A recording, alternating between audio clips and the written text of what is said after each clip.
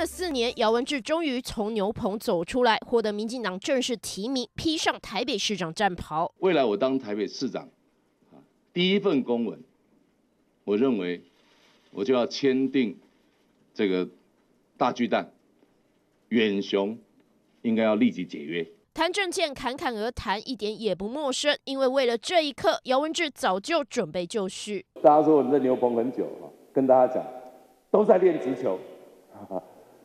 球速很快啊！未来要让地壳震动的球速。二零一四年选举二阶段整合，最后民进党礼让柯文哲，但姚文智始终没放弃，继续在牛棚暖身，不仅忙着试水温，政见更是一个个提出来。我认为台北的地壳改造运动，第一个就是废松基变中央公园啊，这差不多是我。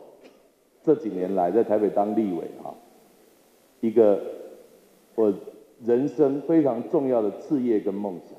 要废除松山机场建公园，还要推大规模都市再生。不止如此，我主张未来应该进行多胎次的补助，也就是第二胎。